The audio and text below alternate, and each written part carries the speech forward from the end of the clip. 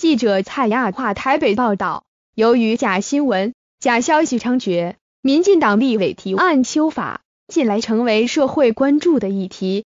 网络媒体 Now News 成立十周年茶会，国民两党的台北市长参选人丁守中、姚文智两人皆到场，聚焦在假新闻议题。两人嘴上过招，互酸对方的对话。惹得在场的人笑声不停。丁寿中上台致辞时，不忘先向台下的姚文志打招呼，接住丁说：“担心现在各家媒体假新闻充斥，他非常小心谨慎跑基层、跑行程，要多打拼。”丁提到，上次市长选举，连胜文就因为假新闻受害，他向在场的 NCC 主委喊话，要好好发挥监督职责。让大家有更明智的选择。随后，姚文智也受邀上台致辞时，立刻回击丁委员刚讲到国民党没钱没人这句话，要好好查一下，逗得台下来宾哄堂大笑。姚文智表示，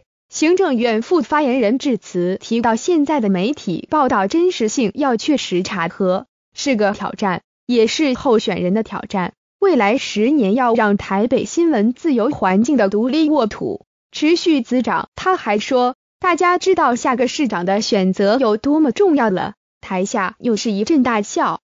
最后强调，他期望台北能作为亚洲新闻自由度最高的城市，成为世界媒体的首都。致辞结束后，姚文智主动走向丁守中握手致意，化解台上的玩笑。